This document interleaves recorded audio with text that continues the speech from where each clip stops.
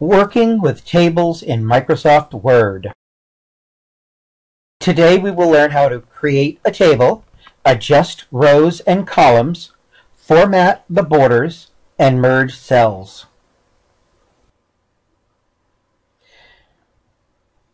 The first thing you need to do in order to make a table is to open up Microsoft Word. I've already shown you how to do that. So as you can see, I've already opened the document. The first thing I want to make sure you put on the document is your name. The second piece of information would be your teacher's name, your homeroom teacher.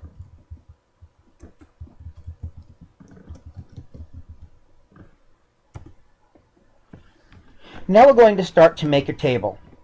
To make a table, we use the Insert tab. Directly underneath the Insert tab, it says Table. I want you to go all the way down to where it says Insert Table and click.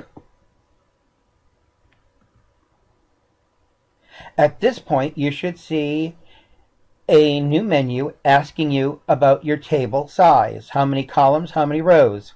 Let's set this for 10 columns. Click in the box underneath it and make it 10 rows. Then click the OK button.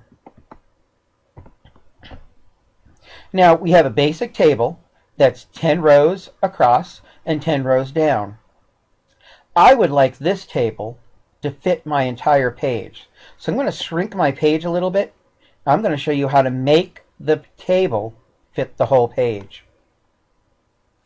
Notice my cursor. As I slide it over the table, it changes to two arrows. Once I get the two arrows, I click on my mouse and I'm going to drag that bottom down. And you can see how now we have one great big cell and a bunch of little ones on the top. I want all the cells to be the same size. So I'm going to go to the first cell, I'm going to click in it, I'm going to hold down, and I'm going to drag across till I have my blue area highlighted. Up at the top, we go to Layout. And you will see right here, it's got two squares with a little ruler next to it. It is the tool to use to distribute rows. It's going to make all my rows the same size. So just click it and the work is done for you. The next thing we're going to do is I'm going to ask you to pause the video and go ahead and open up Microsoft Word and see if you can do just those steps.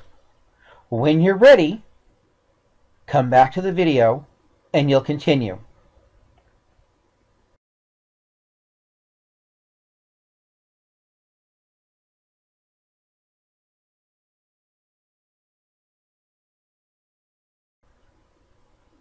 Okay, I'm going to assume you have practiced making a table, you've come back to the video, and you press the arrow to continue going on with our program.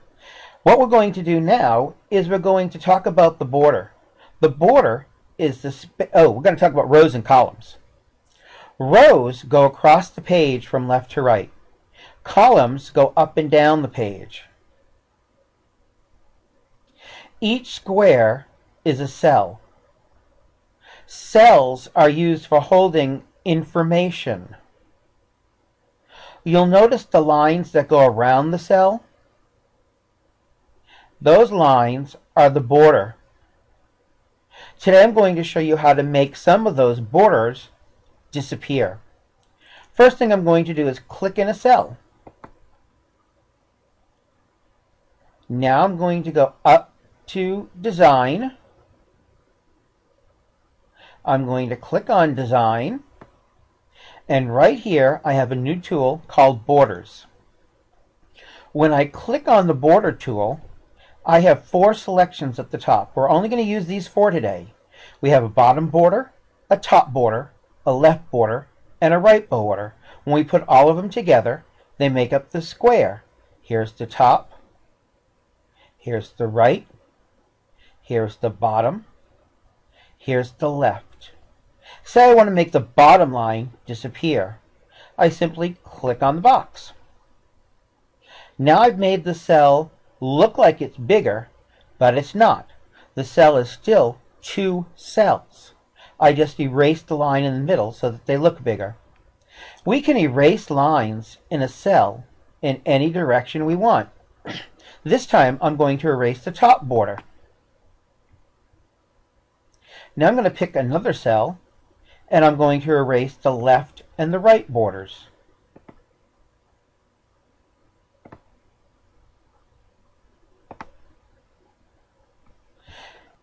Now what I want to teach you is how to merge cells together.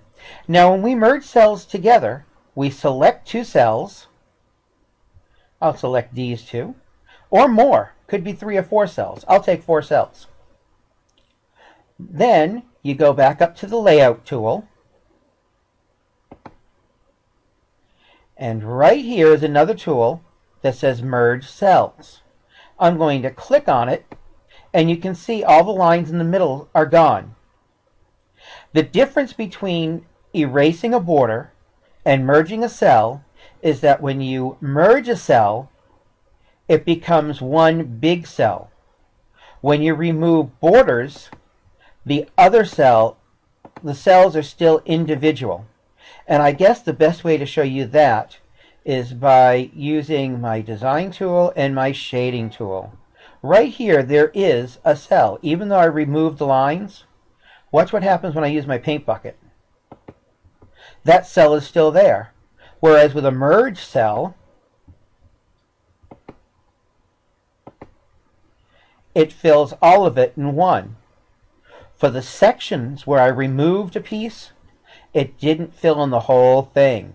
It just filled in the one cell.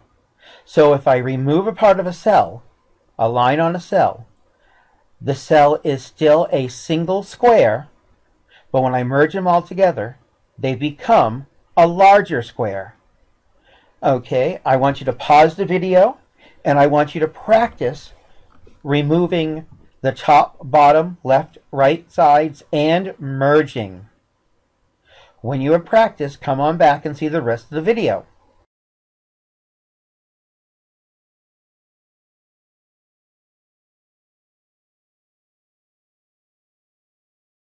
Okay, now you have practiced making borders and removing borders, and you have practiced merging cells. Here's what your project is for today. Your project is to make a maze. You know those mazes that the teachers give you and you use the pencil and you follow through the pathway and find your way from start to finish? That's what you're going to make for me today. So, we're going to go up to File, and we're going to select New. And we're going to take a blank document. I'm going to close up my other document so you don't get confused. And the first thing you're going to put on it is your name and your homeroom teacher's name. Now I'll make this font just a little bit bigger than, so that you can see it.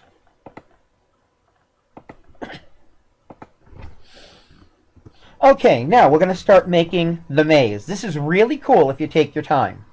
We go up to Insert, we go to Tables, we select Insert Tables, and our magic number is 10 columns and 10 rows. Whoops. And then we're going to click the OK button. Now I'm going to shrink my page just a little bit so you can see the whole thing and I'm going to take the bottom of my table, I'm going to drag it down so it fills the page. The next thing I need to do is I want to distribute all these rows so that I don't have this big, huge, tall one and all these short ones. I highlight the rows, I go to Layout, and then I pick this tool right here, which is hard to find. It's right underneath the word View, and I'm going to distribute my rows evenly.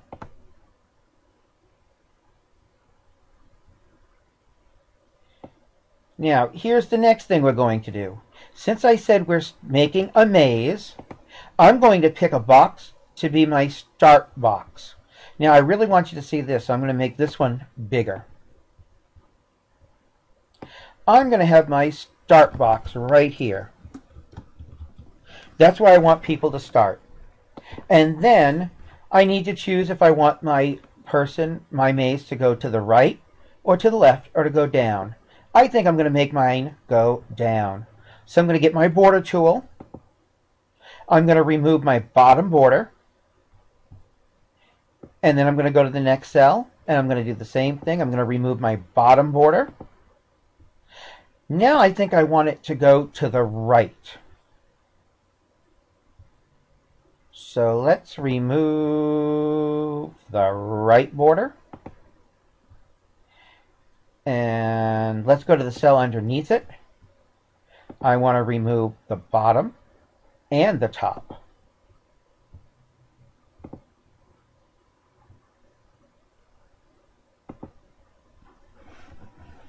By now you should see how my maze is starting to appear. And now I'm going to go across. I want to go to the right some more. So I just keep, whoops, I just keep removing cells until I get what I want. And I'm going to pick a cell right over here to be my finish cell. Now I just have to keep making a path until I get to that cell. I want to remove the top on this one and I want to remove the left on this one. Make sure you keep clicking inside the box so the computer knows which one you want to get rid of. I want to get rid of the right.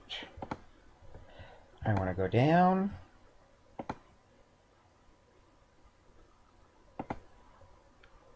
Whoops. I want to get rid of the bottom.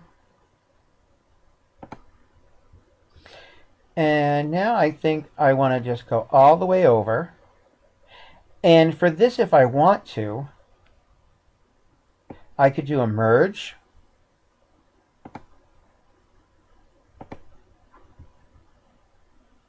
And erase this line. Notice I'm changing from layout to design.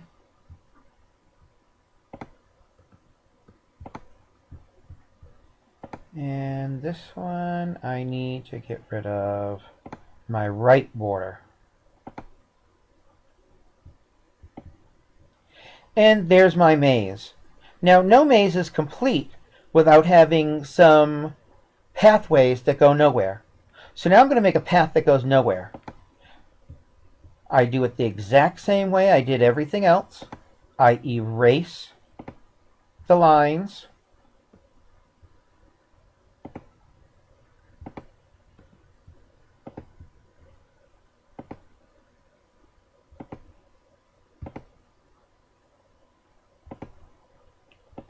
And I just keep going.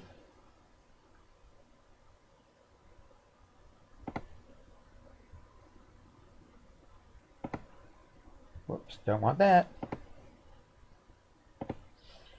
And let's get rid of the left. Okay, there's my path that goes nowhere. Put in as many of those as you'd like. The final thing you can do is to find some areas. Now, we've talked about putting in pictures. All right, so we're going to go and select a bunch of squares. We're going to merge them together. And then we can go ahead and insert a picture from our picture file.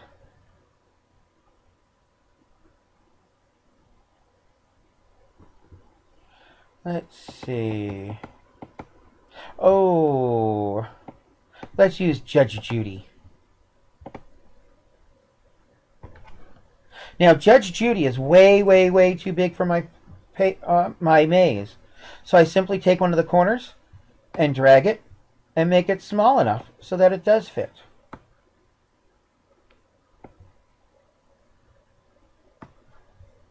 I put her in the wrong spot. There's where I want Judge Judy to go.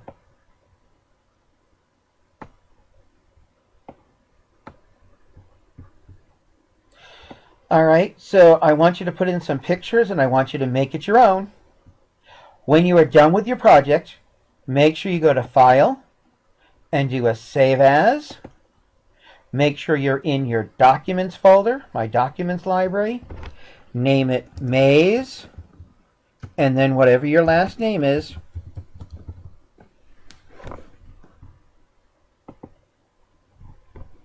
Now you've created the maze and you've saved the maze. The last thing I want you to do is I want you to go and submit it using Blackboard.